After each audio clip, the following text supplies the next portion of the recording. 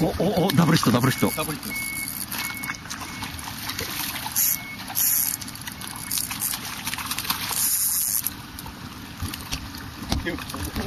大きいんすよ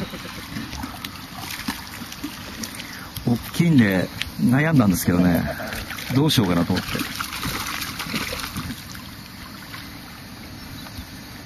やっぱ男は黙ってリリースアイスねちょっと短めに持ってよっしゃはい。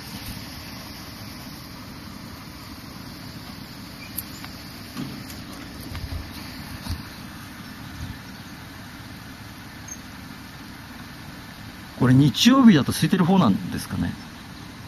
こんなもん。今日は空いてると思います、ね、あやっぱ空いてるんですか？はい。普段はこうなことはないですよね。